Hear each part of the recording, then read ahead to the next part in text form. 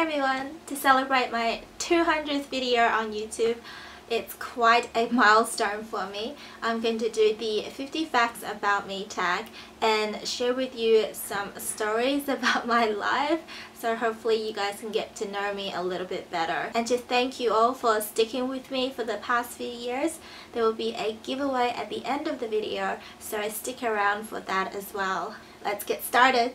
I'm Chinese. I was born in Beijing and both my parents are Chinese as well but somehow people think I'm Japanese. Maybe it's the haircut? I came to Australia when I was 9 years old. I'm 5 foot 3 which is 160 centimeters and both my parents are taller than me so I don't know what happened there. my voice sounds really young over the phone so whenever like marketing people call the house and I pick up I usually get something like can I please speak to your mommy? And I would just hang up on them. I'm a vegetarian and I've been one since I was 11 years old. I like to do things fast and efficiently. So if I can carry the groceries from my car into the house in one load, then I wouldn't do it the second time. So I'd rather do like an overloaded one trip than a comfortable two trip. And that applies to everything that I do.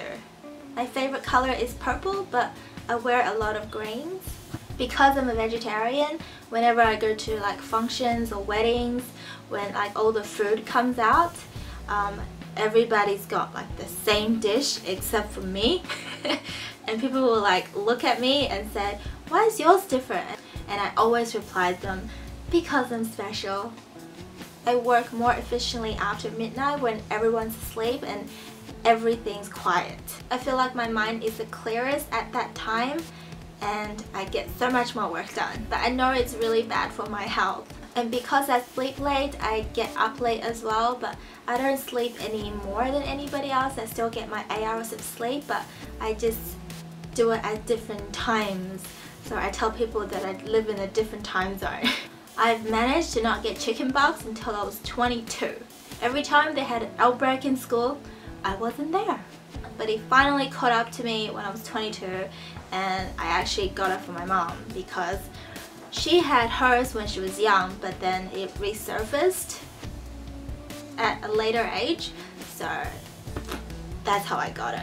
And I got it before I went on to holidays to Hong Kong. So she gave it to me. I had the two weeks incubation period. I went on the plane and as soon as I landed I was in the hospital. So I was in Hong Kong for a whole week. Yeah, whole week and I was sick. and I was naughty and I scratched my face and I ended up with a scar on my face which I've covered it up with concealer. I am comfort over beauty any day but if I can do beauty with comfort then is that better?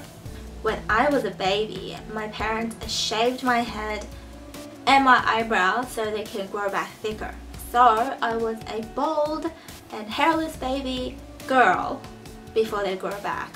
I can't wear high heels but I can wear wedges. I like bright and quiet places so nightclubs and bars are not my thing. I can't see what they look like and I can't hear what they're saying. I love traveling but I hate hate plane rides.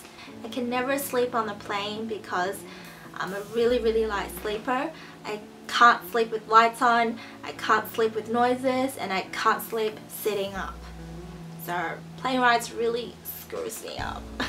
I'm really anal about saving my documents.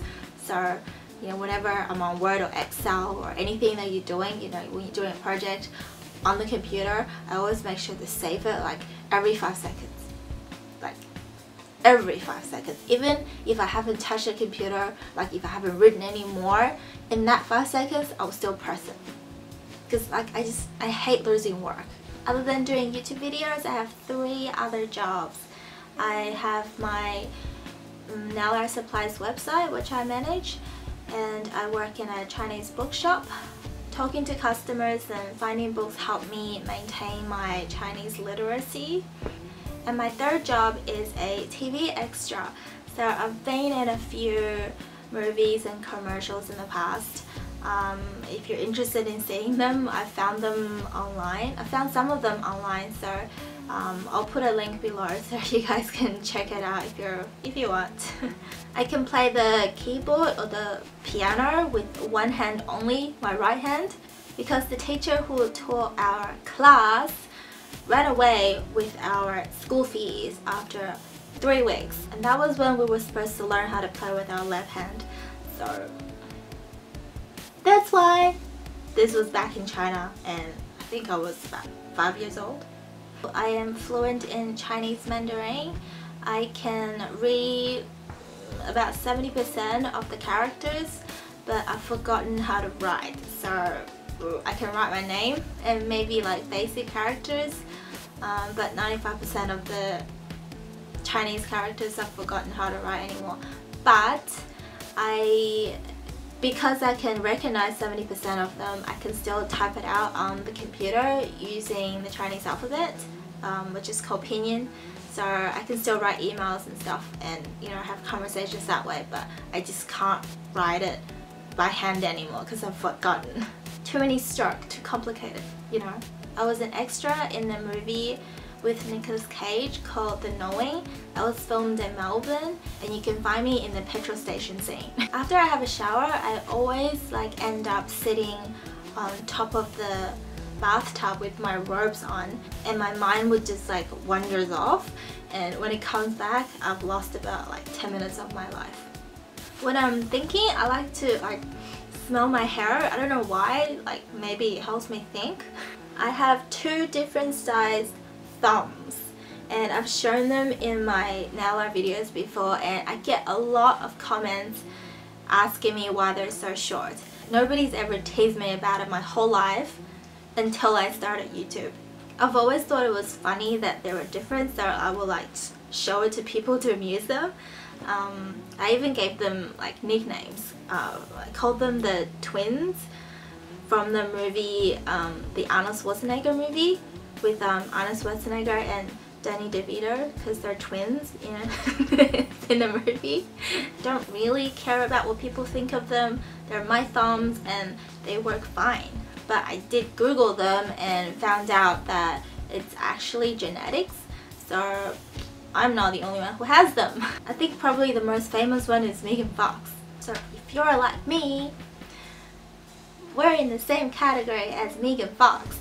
When I was a kid, I got lost three times in, I think, parks and carnivals, like those kind of things because I like to explore and I would like go into bushes and come out on the other side and lose my parents and all three times they had to announce it in the park speakers to let my parents know that they can come and claim me from lost and found. I was swallowed by a huge wave on the beach while I was a kid and for the longest time I thought it was just a dream and once I told my mom about it and she said it actually happened. I remember this huge wave just went over me and I did like a whole somersault and everything and I remember like choking from the water. I don't like people who makes excuses to justify their wrongdoing. I think if you did something wrong, you should just own up to it. You know, learn from your mistakes so you don't do it again. Excuses are for people who don't want to change because in their mind they don't think it's their fault and I don't like people like that. I do however like people who are considerate and kind. I used to play the violin when I was in China. Um, I learned that for a couple of years before I came to Australia. I started with like the junior sized one and I've moved up to the standard sized violin that teacher didn't run away with my school fees.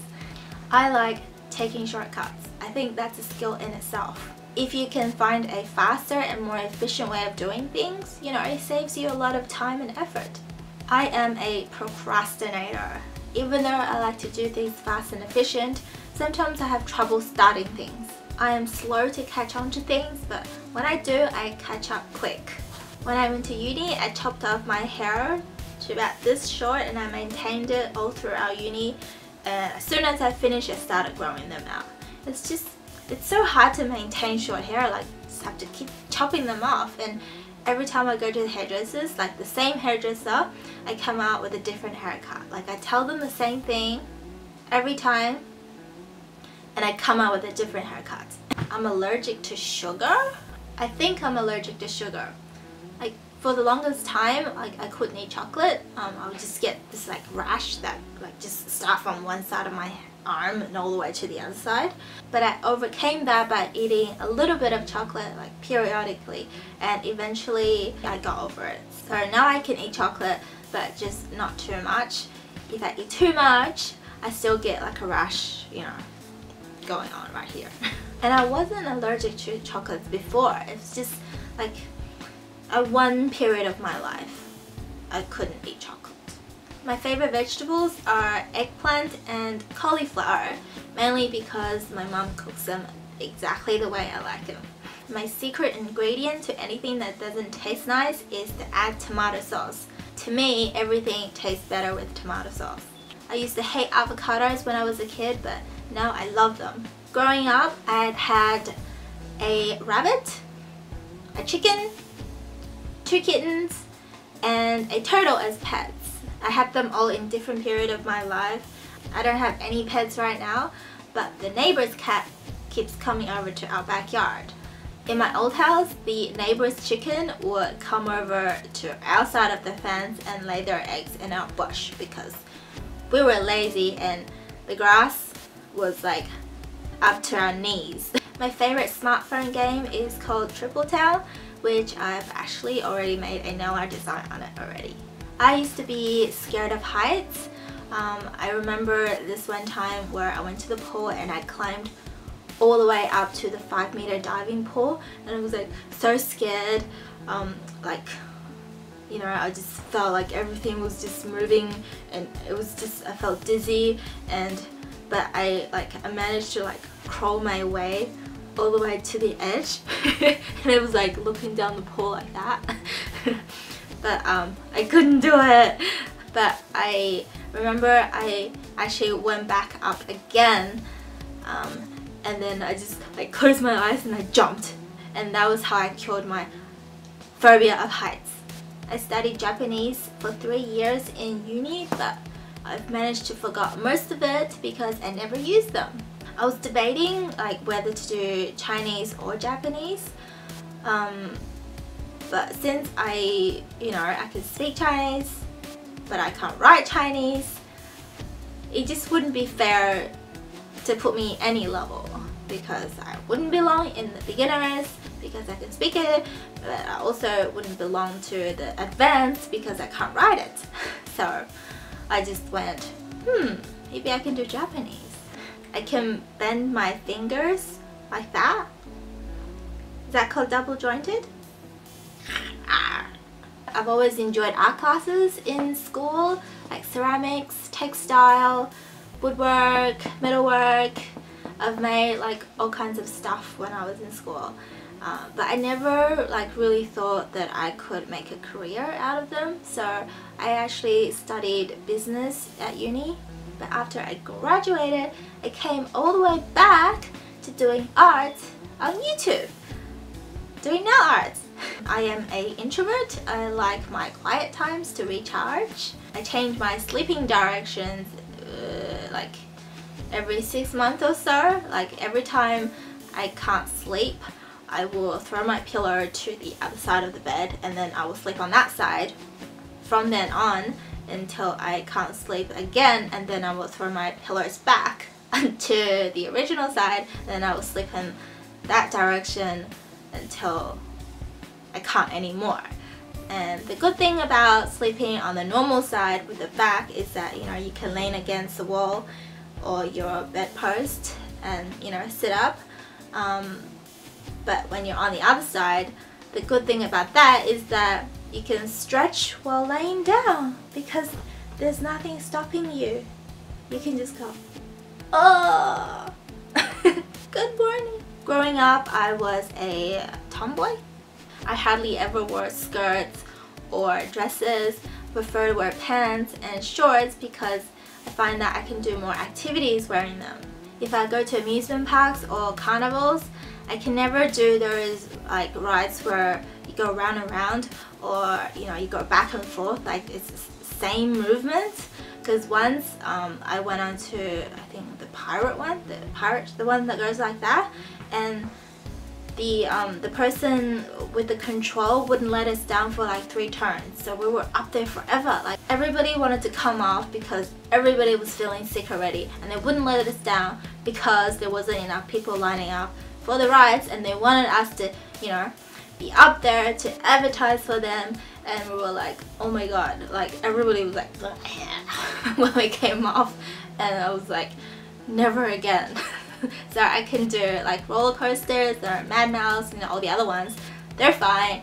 Even like the sudden drops I can do those ones. Just not the back and forth and around and around ones you know that one makes me sick. In my tomboy years I'd never cry. Like I would go years without crying. But now I cry about everything. Like I cry when the is sad I cry when I see scenes of triumph in the news when they have like bad news about like natural disasters or you know, killing sprees. I'll cry about that. If somebody wronged me or if I remember a sad story, like I'll cry about that. Like even even when I chop onions, like I will cry like now, but I didn't I didn't chop onions before. So pretty much I've turned into a girl. I enjoy more of the creative side of coming up with a nail design, doing my videos every week. Um, more than actually, you know, getting my nails done to make them look pretty and fashionable. But I still do enjoy like looking at my nails after I've done them. And there you go folks, that's 50 facts about me. I hope you enjoy that little insight into my life and now I guess you know which button to push to piss me off or what you have to do to get onto my good side. If you have any interesting facts to share with me, please leave them in the comments below. I would love to read about them. I hope you enjoyed this video and give it a thumbs up, share it and add it to your favorite playlist. Anyways, let's get on to the giveaway details.